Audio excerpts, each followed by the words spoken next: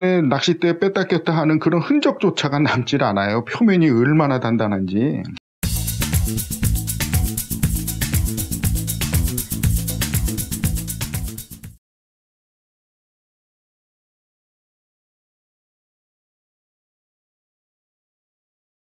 계속 만들어졌으면 좋았을 일, 그 두 번째 시간을 가져보겠습니다. 메타로얄 VS 시리즈라는 릴이에요. 릴하면 역시 시마노 다이와죠. 이 양대 산맥. 네, 업계를 이렇게 양분을 하는 게 아니라 선택지가 좀 더 있었으면 하는 아, 료비의 메타로얄 VS 시리즈입니다. 이렇게 생겼습니다.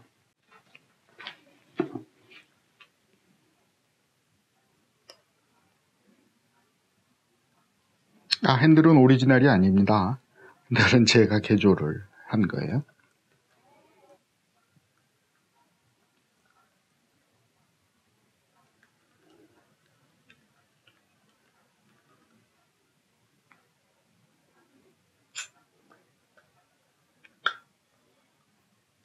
료비라는 회사는 음, 과거 70년대 처음 시마노가 아, 그랬던 것처럼 그 대기업의 경영 다변화에 의해서 조구 업계에 진출한 케이스입니다. 료비라는 회사는 원래 음, 전 세계 톱 레벨의 일류 그 다이캐스팅 업체입니다.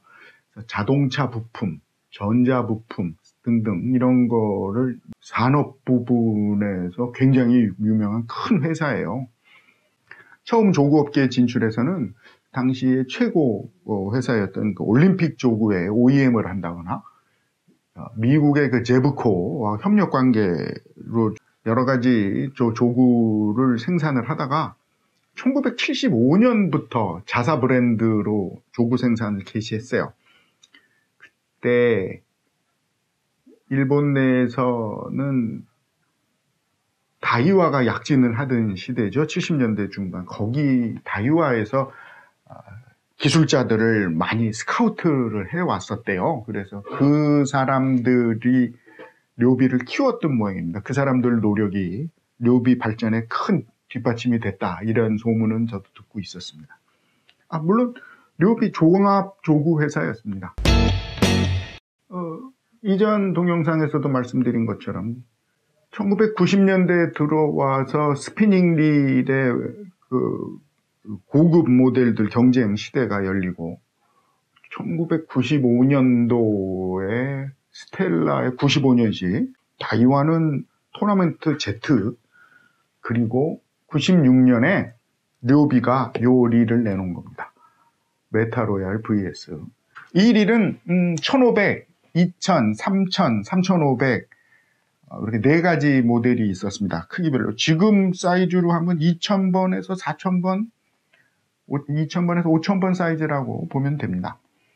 합금 바디, 다이캐스팅 회사다 보니까 바디를 만드는 건 기술이 엄청 좋았죠. 그러니까 리, 기어도 만드는 건 초일류 기술로 만들었을 거예요.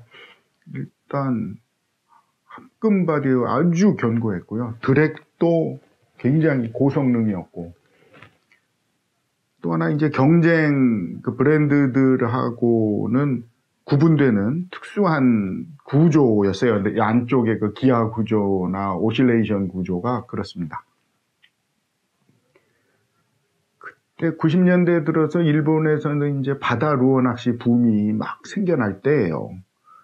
민물에서는 베스 낚시 붐, 바다에서 바다 루어 낚시 붐까지.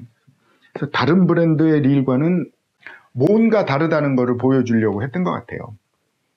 료비가 내세우는 가장 특출난 거 견고성이었습니다. 완전한 록 솔리드. 료비는 내구성. 료비의 가장 특이한 가장 큰 특징이라고 그러면은 이 안에 들어있는 구조예요. 특히 오실레이션 구조가 시마노의 그 웜기어 방식도 아니고 뭐 물론 이게 나오던 시대에는 다이와도 똑같이 웜기어 방식을 썼습니다. 금방 다이와는 S자 캔 방식으로 바꾸잖아요. 근데 이건 그 두 방식도 전혀 아닌 RFO 구조라는 걸로 돼 있어요. rotary flat oscillation이라고요. 이거는 내 충격성, 내마모성 뛰어난 뭐 거의 불멸의 부속이다라고 보시면 될 것 같아요. 이 RFO 방식은 어, 이 모델 이후로 어, 료비의 모든 스피닝 릴에 다 방식, 이 방식이 채용됩니다. 그래서 다른 메이커와 완전하게 구분이 돼요. 보셨지만 제가 20년도 넘게 사용했는데 이, 이런 부분에 낚싯대 뺐다 꼈다 하는 그런 흔적조차가 남질 않아요. 표면이 얼마나 단단한지. 드랙 성능 굉장히 좋고요. 소형 릴인데 그 다음에 main shaft 아주 굵고 이런 게 료비 릴의 특징입니다. 튼튼한 거, 견고성. 이 당시만 해도 벌써 one-way 베어링을 사용한 infinity stopper가 유행을 하기 시작한 때인데 이 릴은 왜 그런지 옛날 방식, 이 ratchet 방식을 그대로 쓰고 있어요. 그러니까 고장날 일이 없죠. one-way 베어링 자체가 없으니까 역전 방지, 역전이 베어링이 고장나서 현장에서 이상해지는 일은 없어요. 그렇게 되면 이제 유격이 발생을 하는데요. 이 일반 ratchet 방식은 이건 위아래로 그 ratchet을 두 개를 넣어가지고 그 라, 유격이 요 정도밖에 발생을 안 해요. 아주 이 견고성 우선이죠. 이것도 역시. 그 다음에 핸들 접합부도 이중 구조를 해서 원래는 이렇게 접이식 핸들은 달아서 좀 걸거덕거리는데 20년 지났는데 전혀 여기엔 유격이 안 생겼어요. 이 접이식 핸들은 단점이 될 수도 있습니다. 말씀드린 대로 언젠가는 닳겠죠. 그래 오히려 이제 이 main drive 기아에 완전히 나사식으로 이렇게 결합이 되는 요즘 시마노 다이와 방식이면 참 좋은데 아마 이때는 이런 게 유행이었으니까 이게 20년 넘게 진화해서 혹시 살아남아 있다면 그런 식으로 바뀌었겠죠? 저는 이 릴을 음, 1999년인가 2000년인가에 들어와 샀어요. 어, 처음엔 농어 루어 낚시용으로 그렇게 사용할 목적으로 구입을 했습니다만 농어 낚시보다는 뭐 해외 가져가서 호주에 바람한 뒤 낚시 파푸안베스 국내에서는 마라토의 방어 지깅에도 한번 사용을 했었고요. 최근에 사용한 건 재작년에 그 연평도 농어 낚시에 가지고 가가지고 미터급 두 마리를 다 2일로 연속으로 낚았습니다. 그런데 이제 솔직히 이 릴은 저는 이걸 3,000번을 갖고 있습니다만 농어 낚시에는 좀 무겁고 방어 지깅의 사용엔 작고 좀 그렇습니다.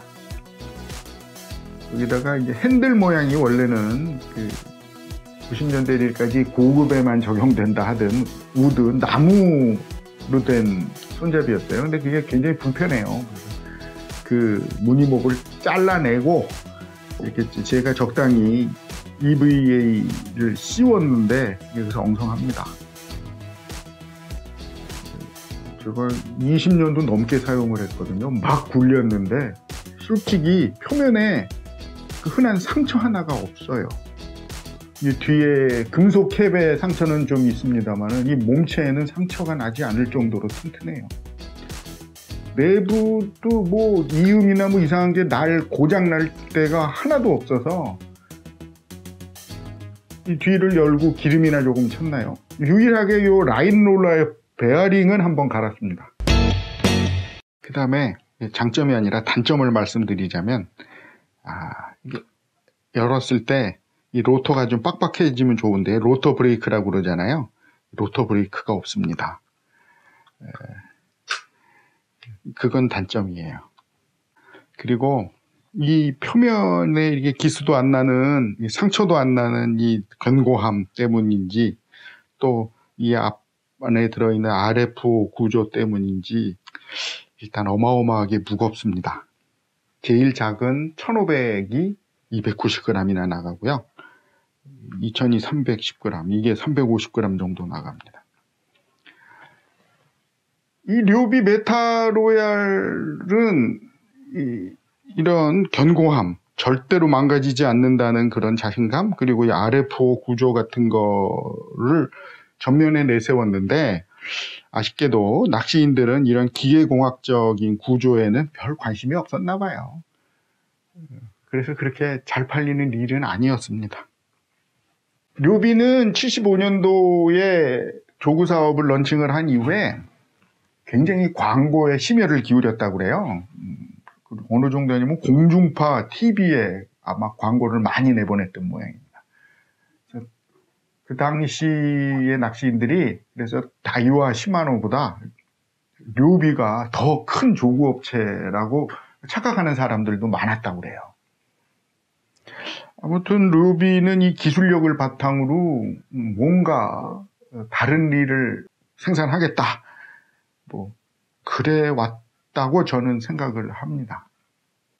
그래서 이런 뭔가 다른 그런 스피닝 릴, bait casting 릴이 계속 생산이 되었다면은 어, 조구 업계의 또 하나의 축으로 성장을 할 수 있었을 것이다 라고 기대는 했는데 시마노 다이와와 다르게 그 미국 시장으로 충분히 진출을 하지 못했던 모양이에요. 그게 이제 그 부진의 원인이 되기 시작을 했다라고들 말들을 합니다. 1980년대 말에 미국의 그 버클리, 버클리랑 이 료비가 같이 핀텍이라는 회사를 만들어요. 근데 결과는 안 좋았습니다. 90년대 들어와 가지고 좀 건실한 릴들, 특히 이게 96년에 이 메타 로얄이 나오고, 요게 99년까지 딱 4년 동안 이 메타 로얄이 카탈로그에 실리는데요. 그때가 료비의 전성시대였다라고 생각을 합니다. 그때는 일본 내 그 배스 낚시 시장에 또 잘 적응이 될 것 같은 bait casting 특이한 것들을 많이 만들어내요. 마리우스라든가 익시오네라든가 스피닝 릴도 자우버 시리즈라든가 뭐 물론 바다 루어 낚시용으로는 이 메타로얄 그큰 메타로얄 피싱 사파리 같은 것들 아주 견고하고 성능 좋고 시마노 다이와보다는 좀 저렴한 그런 릴을 내놓습니다.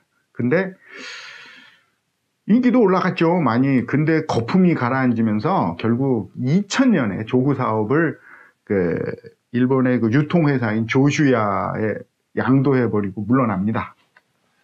제가 료비의 그 카탈로그를 좀 찾아보니까 요 세 권 아직 갖고 있더라고요. 안 버리는 게. 마침 96년도, 그러니까 이 메타로얄이 나온 첫 등장한 96년도 카탈로그가 있고, 그리고 또 메타로얄이 마지막으로 실렸던 99년도 카탈로그가 있어요. 이때만 보면 뭐 별별 거 다 있습니다. 당시에 날렸던 료비의 릴들, 그 다음에 뭐 낚싯대, 각종 의류, 어페럴 쪽, 그 다음에 루어, 어탐에, 은어낚시 용품, 기타 등등, 갯바위 신발, 뭐 선글라스에 소형 FRP 보트까지 아주 다양한 종합 조구 회사였습니다. 요건 2002년도 료비 카탈로그거든요. 이게 아마 료비 마지막 카탈로그였나? 그건 잘 모르겠어요. 근데 이때는 벌써 요 뒤에 이렇게 보면 료비라고는 써 있는데 이, 이거 같이 주식회사 료비가 아니라 주식회사 조슈야의 료비 브랜드 조구 사업부 뭐 이렇게 써 있습니다. 이때만 해도 벌써 열어보면 그 좋았던 그 릴들은 많이 퇴색해 버린 상황입니다. 이때만 해도 중저가 릴들만 있고 워낙 인기 많았던 재고라고 그럴까요? 그런 것들에 뭐 바다용 대형 피싱 사파리래거나 료비서 만들지 않은 다른 OEM으로 만든 릴들이라든가 그런 것들만 좀 남아 있습니다. 물론 메타 로얄 시리즈 료비의 좋았던 스피닝 릴은 2002년 카탈로그에는 없어요. 일전에 좀 존속했으면 좋았을 것 같은 스피닝 릴 그래가지고 마미야 오피의 에이펙스 시리즈를 소개해 드렸는데 존속했으면 좋았을 릴 또 하나 이거는 실은 마미야 오피보다 1년 먼저 나온 료비의 메타로얄 VS 시리즈였습니다. 이 일도 없어지지 않고 25년간 진화했다면 어떻게 됐었을까? 시마노 다이와의 정말 좋은 경쟁 상대가 됐었을 것이다. 그렇게 생각은 해서 참 아쉽습니다.